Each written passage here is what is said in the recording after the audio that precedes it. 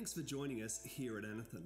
Just before we get started on today's message, I want to make sure you know how to get even more content and encouragement from the Anothen team. Anothen content is created to facilitate you becoming one of the most influential spiritual leaders in the world. So, whether it's teaching and worship resources, leadership resources, or how to plug into a microchurch, or even connect through Anothen Biz Solutions, Anothen's U Church app has all of this great content and more. So, download your free UChurch app on either the Apple App Store, Google Play, Apple TV, or Roku. Also, towards the end of this video, you'll be encouraged to give towards the global move of Anothen. Would you please pray and consider this? Because it's through the generous donations from people such as yourself who help keep all of this amazing content free for others. So get ready now to engage in this week's message as God takes you further and deeper into encounters with His always perfect love for greater impact because He wants to love the world through you.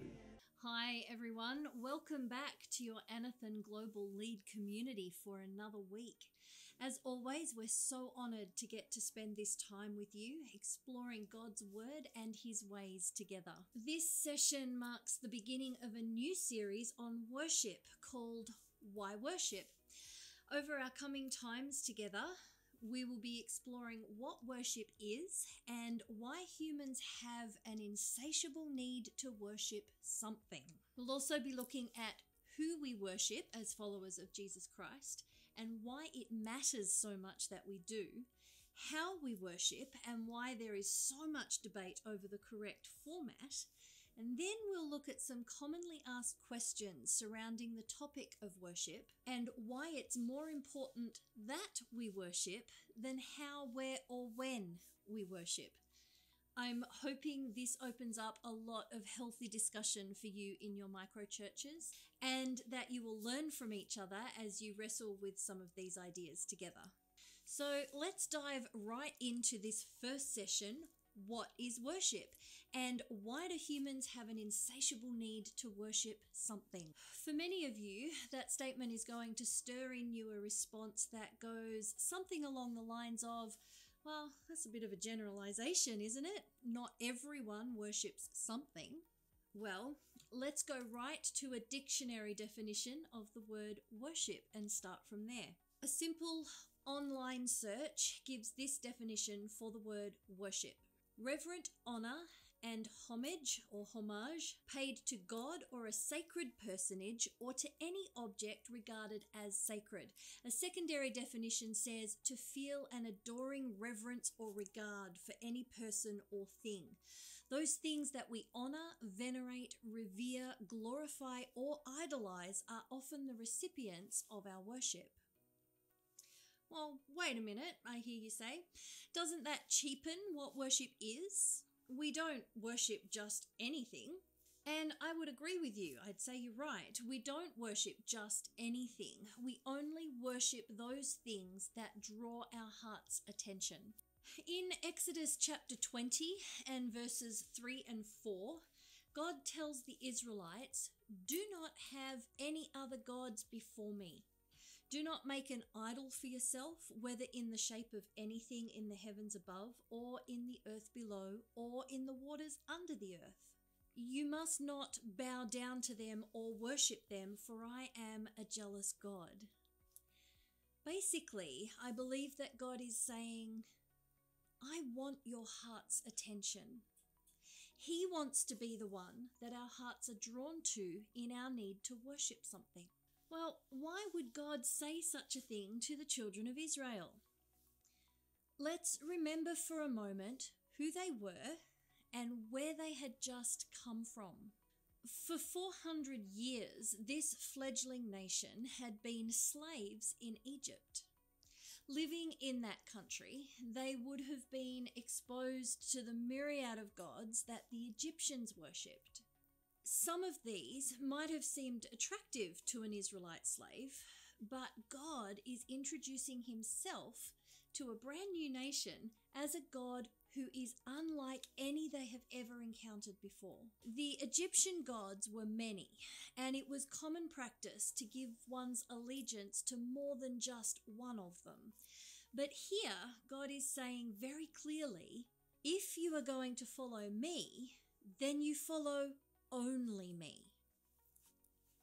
So, why is that so important? Because he didn't want the loyalties of their hearts to be divided. And he hasn't changed all these thousands of years later. He still doesn't want the loyalties of my heart or yours to be divided. Because when the loyalties of our hearts are divided, we are unable to follow Him with unity of purpose and intent. Many years later, when Jesus walked the earth, he said these words Every kingdom divided against itself is laid waste, and no city or house divided against itself will stand.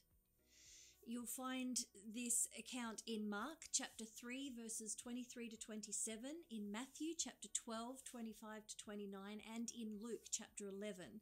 It's widely accepted that this proverb means you can't stand firm if your interests are divided.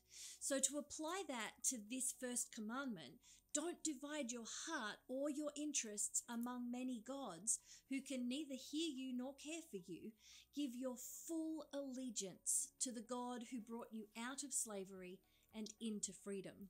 But we still need to answer the question of why humans have a need to worship something. Where does the idea of worship even come from? To uncover that, we need to go right back to the very beginning. In Genesis chapters 1 and 2, we're told that God created humans, male and female, in his own image.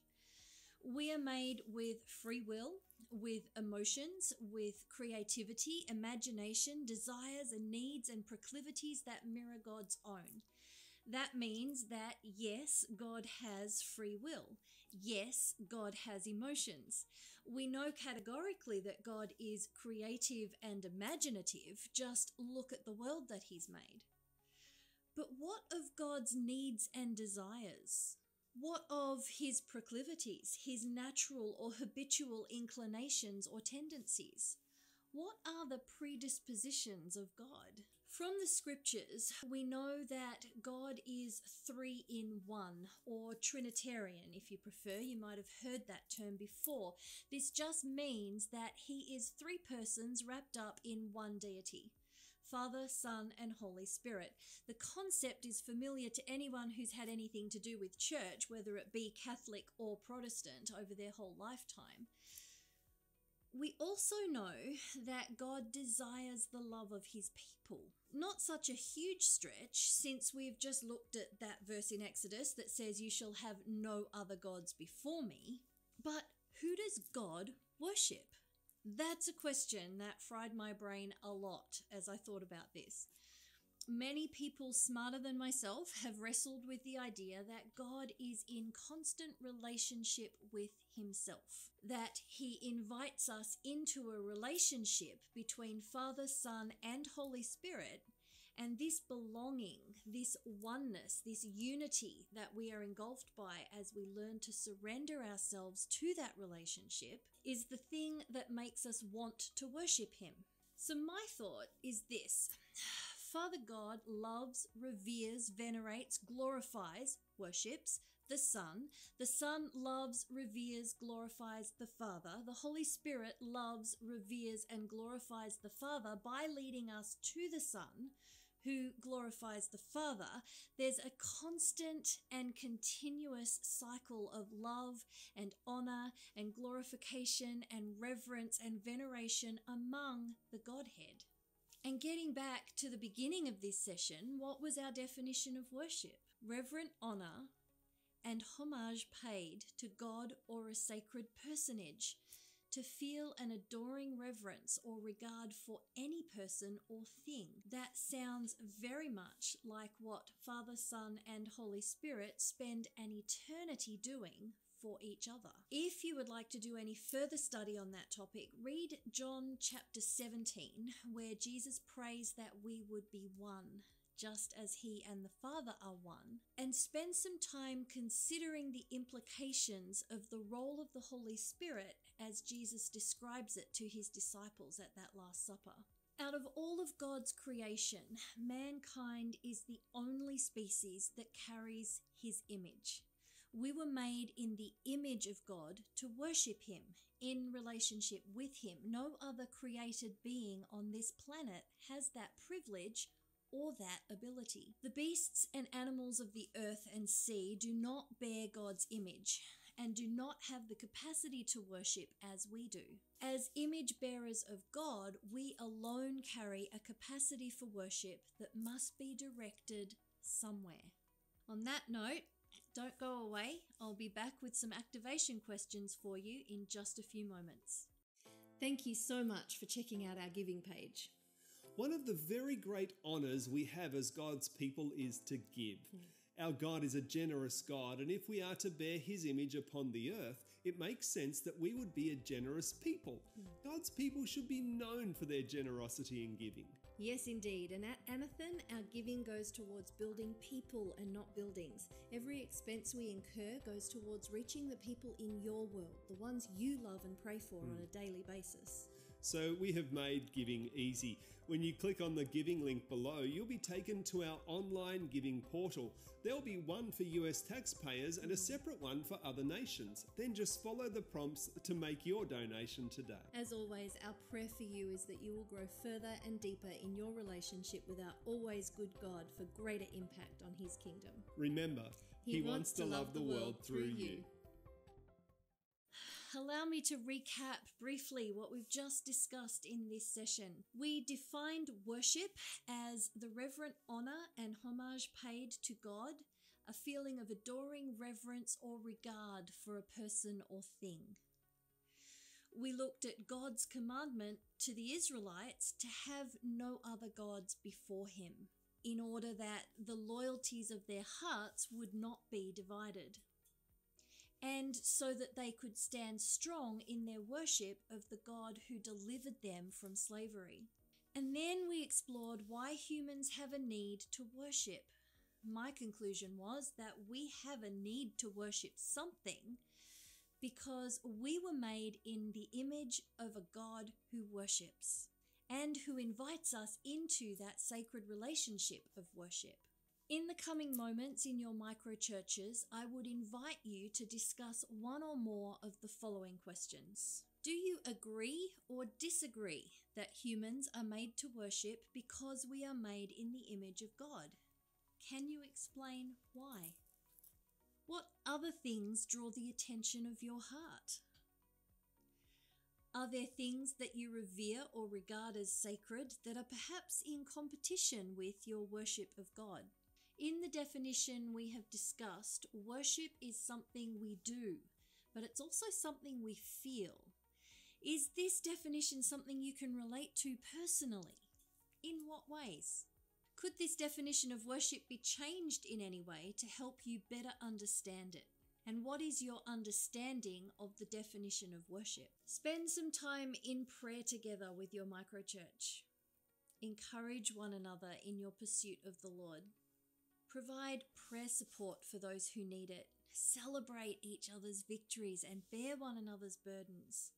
And remind each other constantly that God wants to take you further and deeper into encounters with His always perfect love for greater impact because He wants to love the world through you.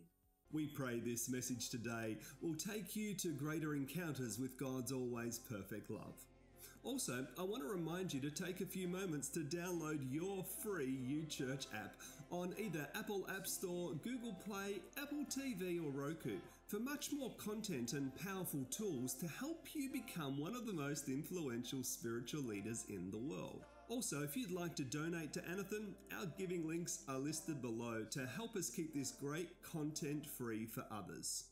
Here are this week's activations.